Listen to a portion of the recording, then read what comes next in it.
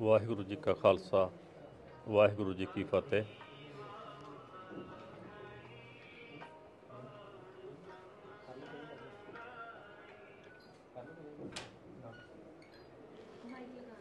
ਵਾਹਿਗੁਰੂ ਜੀ ਕਾ ਖਾਲਸਾ,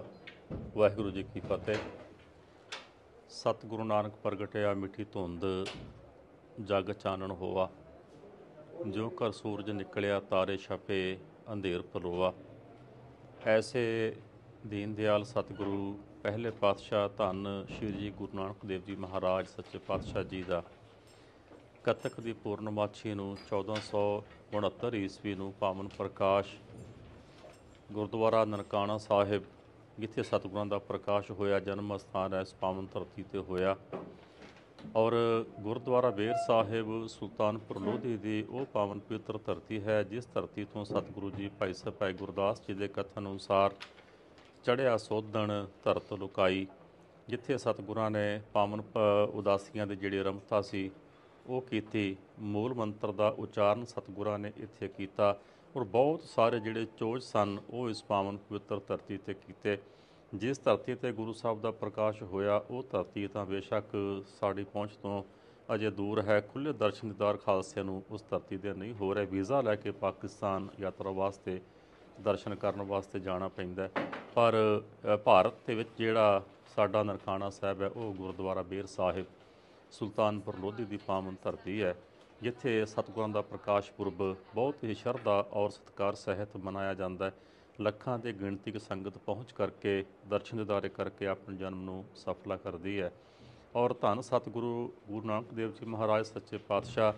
ਸੜਦੀ ਹੋਈ ਲੁਕਾਈ ਨੂੰ ਠਾਰਨ ਵਾਸਤੇ, ਸੜਦੇ ਹੋਏ ਹਿਰਦਿਆਂ ਨੂੰ ਠਾਰਨ ਵਾਸਤੇ, ਤਪਦੇ ਹੋਏ ਹਿਰਦਿਆਂ ਨੂੰ ਠੰਡਾ ਕਰਨ ਵਾਸਤੇ ਔਰ ਅਗਿਆਨਤਾ ਦੇ ਹਨੇਰੇ ਵਿੱਚ ਡੁੱਬੀ ਹੋਈ ਲੁਕਾਈ ਨੂੰ, ਭਟਕਦੀ ਹੋਈ ਲੁਕਾਈ ਨੂੰ ਸੱਚ ਦਾ ਰਾਹ ਦੱਸਣ ਵਾਸਤੇ, ਗਿਆਨ ਦਾ ਪ੍ਰਕਾਸ਼ ਬਖਸ਼ਿਸ਼ ਕਰਨ ਵਾਸਤੇ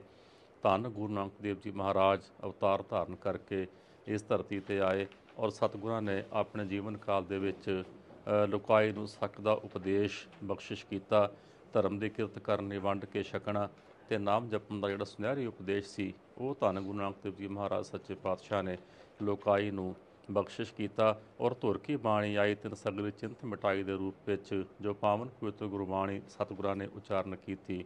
ਉਹ ਸਮੁੱਚਾ ਜੋ ਗੁਰੂ ਨੂੰ ਮੰਨਣ ਵਾਲਾ ਸਿੱਖ ਹੈ, ਉਹ ਗੁਰੂ ਸਾਹਿਬ ਨੂੰ ਮੱਥਾ ਟੇਕਦਾ ਹੈ, ਗੁਰੂ ਕੀ ਬਾਣੀ ਪੜ੍ਹਦਾ ਹੈ ਤੇ ਆਪਣੇ ਤਪਦਿਆਂ ਹੋਇਆਂ ਹਿਰਦਿਆਂ ਨੂੰ ਠਾਰਦਾ ਹੈ। ਐਸੇ ਦੀਨ ਦਿਆਲ ਸਤਿਗੁਰਾਂ ਦਾ ਪ੍ਰਕਾਸ਼ ਪੁਰਬ ਜੋ ਸਮੁੱਚੇ ਸੰਸਾਰ ਭਰ ਵਿੱਚ ਬਹੁਤ ਸ਼ਰਧਾ ਔਰ ਸਤਿਕਾਰ ਸਹਿਤ ਮਨਾਇਆ ਜਾਂਦਾ ਹੈ। ਔਰ ਦਾਸ ਦੇ ਬੜੇ ਵੱਡੇ ਭਾਗ ਨੇ ਕਿ ਅੱਜ ਉਸ ਧਰਤੀ ਤੇ ਆ ਕੇ ਦਰਸ਼ਨ ਕਰਨ ਦਾ ਸੁਭਾਗ ਪ੍ਰਾਪਤ ਹੋਇਆ। ਗੁਰਦੁਆਰਾ ਬੀਰ ਸਾਹਿਬ ਸੁਲਤਾਨਪੁਰ ਲੋਧੀ ਦੀ ਧਰਤੀ, ਜਿੱਥੇ ਅੱਜ ਮਹਾਨ ਨਗਰ ਕੀਰਤਨ ਜਿਹੜਾ ਸਵੇਰੇ ਆਰੰਭ ਹੋਇਆ, ਰਾਤ ਨੂੰ ਸੰਪੰਨ ਹੋਵੇਗਾ ਔਰ ਕੱਲ ਨੂੰ ਸਤਿਗੁਰਾਂ ਦੇ ਪ੍ਰਕਾਸ਼ ਪੁਰਬ ਬਹੁਤ ਸ਼ਰਧਾ ਔਰ ਸਤਿਕਾਰ ਸਹਿਤ ਮਨਾਏ ਜਾਣਗੇ। ਸੱਚਖੰਡ ਸ੍ਰੀ ਹਰਮੰਦਰ ਸਾਹਿਬ ਜੀ ਵਿਖੇ ਸੁੰਦਰ ਜਲਾਓ ਸੱਜਣੇ ਨੇ ਔਰ ਸੁਨਹਿਰੀ ਜਿਲਦ ਵਾਲੇ ਜਿਹੜੇ ਪਾਵਨ ਸਰੂਪ ਨੇ, ਉਹਨਾਂ ਦੇ ਪ੍ਰਕਾਸ਼ ਸੱਚਖੰਡ ਸ੍ਰੀ ਹਰਮੰਦਰ ਸਾਹਿਬ ਜੀ ਵਿਖੇ ਅੰਮ੍ਰਿਤ ਵੇਲੇ ਸਵੇਰੇ ਹੋਣਗੇ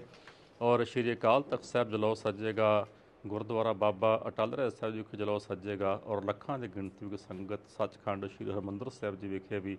ਦਰਸ਼ਨ ਕਰਕੇ ਮੱਥਾ ਟੇਕ ਕੇ ਆਪਣੇ ਜੀਵਨ ਨੂੰ ਸਫਲਾ ਕਰਨ ਦਾ ਯਤਨ ਕਰ ਰਹੀ ਹੈ ਔਰ ਸਮੁੱਚੀਆਂ ਸੰਗਤਾਂ ਨੂੰ ਧੰਨ ਗੁਰੂ ਨਾਨਕ ਦੇਵ ਜੀ ਮਹਾਰਾਜ ਜੀ ਦੇ ਪ੍ਰਕਾਸ਼ ਪੁਰਬ ਦੀਆਂ ਬਹੁਤ ਬਹੁਤ ਮੁਬਾਰਕਾਂ ਹੋਣ, ਬਹੁਤ ਬਹੁਤ ਵਧਾਈਆਂ ਹੋਣ। ਗੁਰੂ ਨਾਲ ਜੁੜ ਕੇ ਅੰਮ੍ਰਿਤ ਛਕ ਕੇ ਗੁਰੂ ਵਾਲੇ ਬਣ ਕੇ ਆਪਣੇ ਜੀਵਨ ਨੂੰ ਸਫਲਾ ਕਰਨ ਦਾ ਯਤਨ ਕਰੀਏ। ਵਾਹਿਗੁਰੂ